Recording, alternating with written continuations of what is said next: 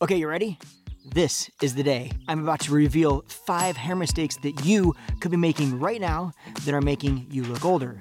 Now, I only bring out one of these particular styles of video per year.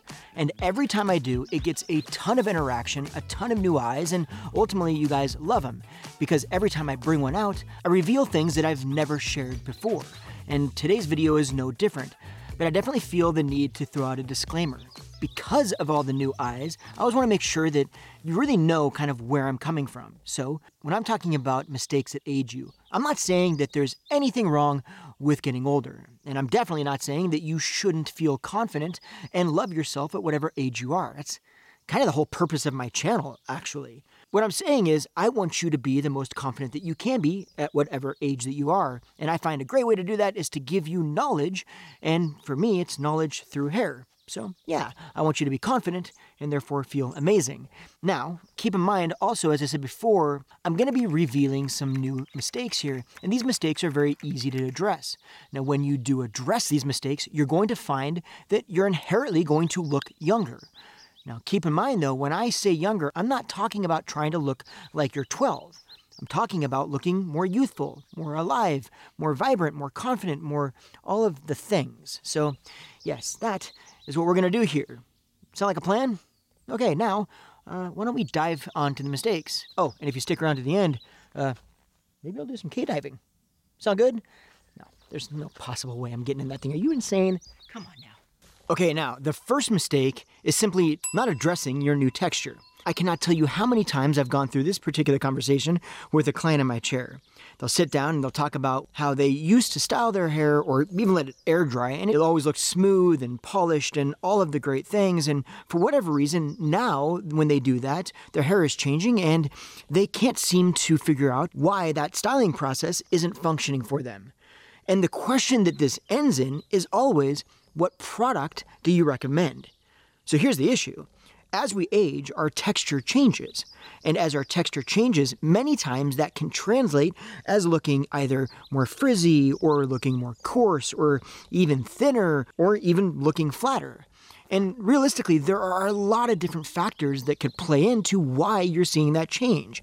It could be dietary changes, it could be stress changes, it could be modifications to medications, it could be hormonal changes, it could be a host of different things. So sometimes changing a product or just throwing a product at it in general isn't necessarily the best move. It may be that because your hair texture is changing, we need to modify our approach to how we style it. Maybe your hair texture now doesn't lend itself to being being able to just be air dried and get the results that you want to get.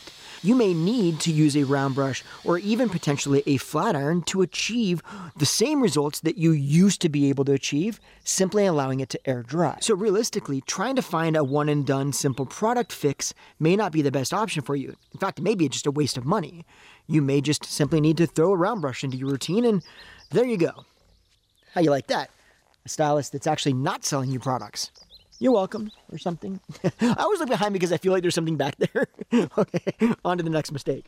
Oh, and by the way, if you're new to this channel, you're probably wondering, why is this guy out in the middle of the woods talking to me about hair? I mean, I understand. Fair, that's is kind of weird. Uh, well, my name is Justin Hickox. I started doing hair in 1995, and I prefer to take you on adventures while I teach you about hair. At the end of the day, you're going to learn the exact same thing regardless of where I am. I figure this way you at least have the benefit of a potentially cool view instead of just the white walls in our salon. Makes kind of sense, right? So can we just agree that it's a win-win? I think fair enough. All right, and uh, yeah, welcome. okay, now the next big mistake, mistake number two, is not addressing your makeup for your current skin tone or hair color. So here's the thing as we age, it's not very uncommon at all for our skin tone to slightly shift. Whereas we may be used to it being a little bit warmer, it may get a bit cooler. And your skin tone plays a massive role in how your overall hair color looks on you. Now, one thing that's happened over the past couple of years that I absolutely love is the fact that people are becoming much more comfortable with living with their gray hair. Where it used to be that gray hair was the standard that aged you, now it's becoming much more accepted that does not have to inherently age you, and that gray hair can absolutely look amazing on people.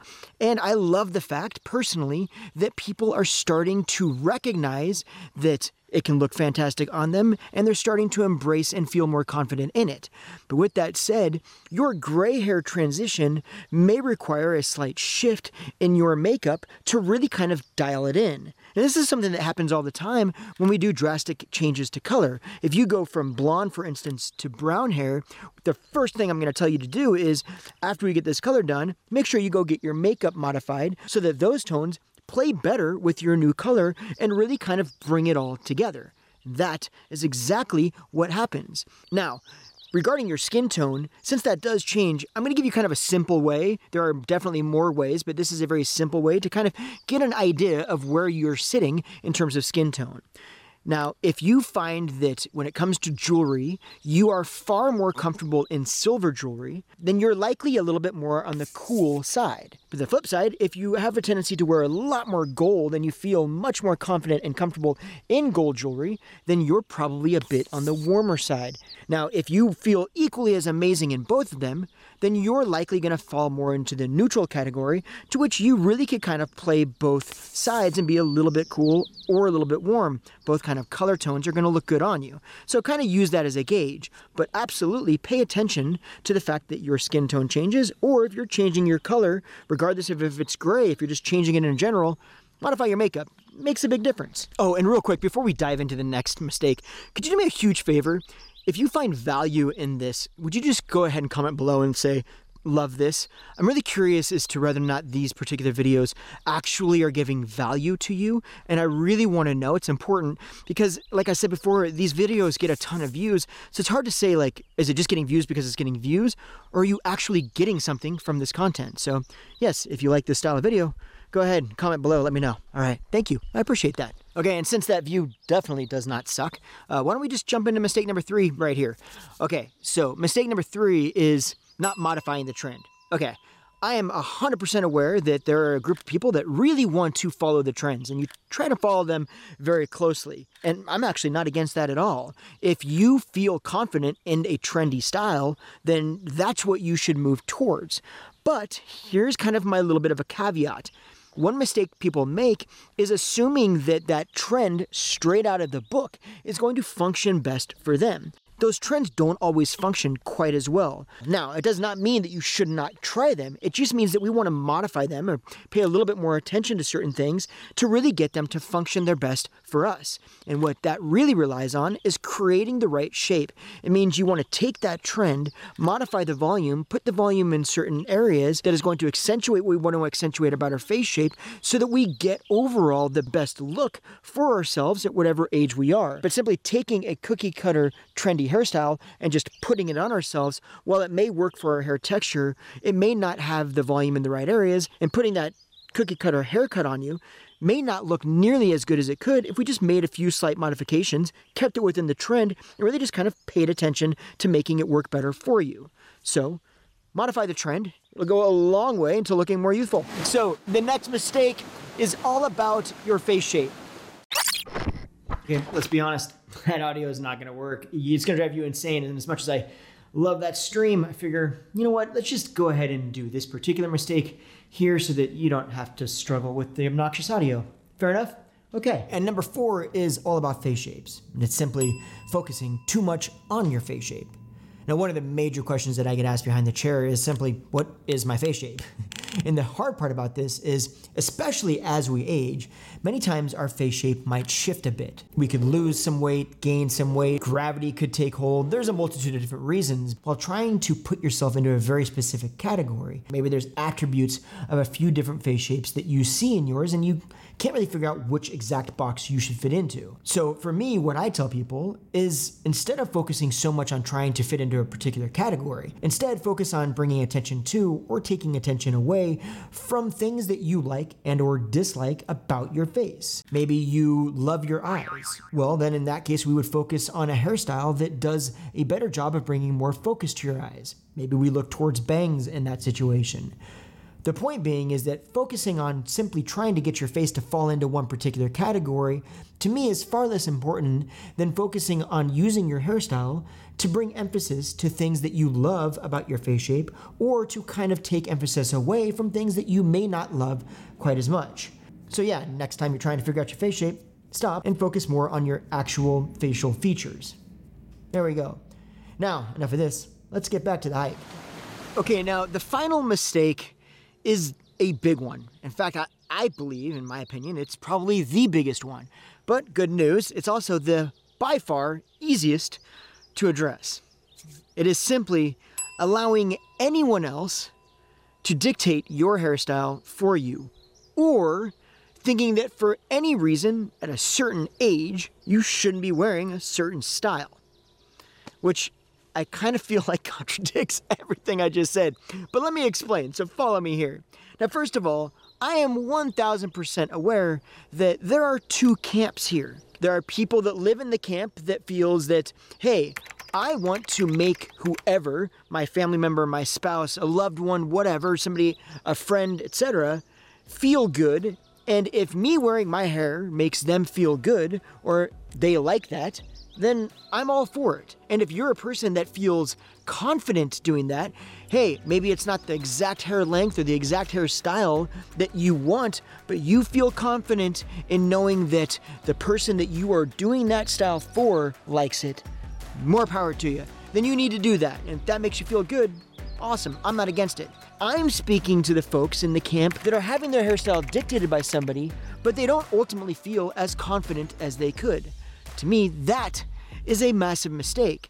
And you gotta understand that most people that are trying to pigeonhole you into a specific look, it may not even be for any sort of malicious purpose. It could simply be that for whatever reason in their mind, that's how they've always known you or that's how they've always seen you. Or from their experience, people of a certain age or of a certain type or whatever, that's how they're supposed to look. What you have to understand is that you need to do whatever makes you the most confident. Because I promise you, if you're not your most confident, then whoever you're doing that style for, they are not getting the maximum benefit that they could get because you are not capable of being your best self. And if you're not being your best self, then you're not bringing everything that you have to the table. So, if you truly want to do those folks a service, bring your best which is to say, be your best, which is to say, do what makes you feel best. Thanks for coming to my TED Talk. no, but you follow my purpose, right? The goal at the end of all of this is to make you feel the best and the most confident because at the end of the day, that's how you're going to feel and look your best. But by the way, uh, before we jump off, if you did find value in this, if you're stuck around this long, do me a massive favor and actually go ahead and subscribe to the channel so that you don't miss my future videos, as well as make sure you hit that little bell because it actually does notify you then when I actually upload a video so that you do get to be able to see it and don't miss it. Because otherwise you, you might miss it and that could be terrible, right? Did that make sense? I hope so. Um, you know what's rough is you can't see it very well, but there's a really cool, pretty massive lake behind me. But those trees are kind of in the way but I'm gonna sit here and enjoy it anyway. So that's what I do. Uh, so yes, uh, I'm gonna go ahead and enjoy that, and you can hang out and do whatever you want. Yes, uh, probably not. I'm not even gonna edit that out because that was absolutely ridiculous. Oh my, I'm out. Peace.